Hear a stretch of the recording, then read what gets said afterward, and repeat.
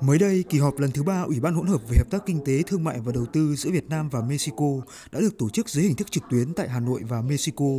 Kỳ họp do Thứ trưởng Bộ Công Thương Việt Nam Đỗ Thắng Hải và Thứ trưởng Bộ Kinh tế Mexico Lumaria de la Mora đồng chủ trì. Tại kỳ họp, hai bên đã tiến hành giả soát các kết quả đạt được kể từ kỳ họp lần thứ hai Ủy ban hỗn hợp Việt Nam Mexico được tổ chức vào tháng 7 năm 2019 tại thủ đô Mexico. Từ đó, xác định các nội dung công việc cần triển khai trong thời gian tới để tiếp tục thúc đẩy quan hệ hợp tác song phương trên các lĩnh vực kinh tế, thương mại, thực thi hiệp định CPTPP, nông nghiệp, khoa học công nghệ, tài chính,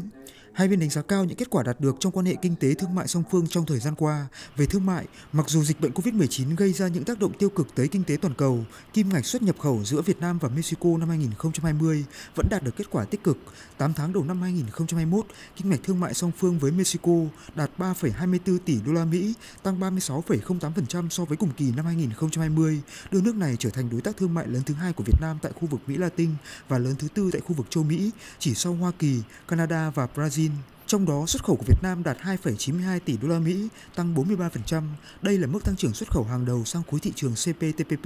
đối với hàng hóa của Việt Nam và với việc thị phần hàng hóa xuất khẩu của Việt Nam tại thị trường Mexico mới đạt 1,3%, có thể khẳng định còn nhiều dư địa để tiếp tục tăng trưởng xuất khẩu thông qua tận dụng những ưu đãi của hiệp định CPTPP.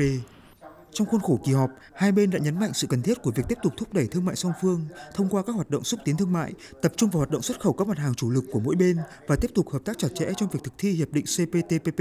qua đó tạo điều kiện thuận lợi cho doanh nghiệp hai bên tiếp cận thị trường và tận dụng các ưu đãi của hiệp định. Bên cạnh đó, hai bên cũng đánh giá cao những nỗ lực và kết quả hợp tác trong nhiều lĩnh vực như hợp tác trong lĩnh vực nông nghiệp, hợp tác trong lĩnh vực sở hữu trí tuệ và trong lĩnh vực tài chính.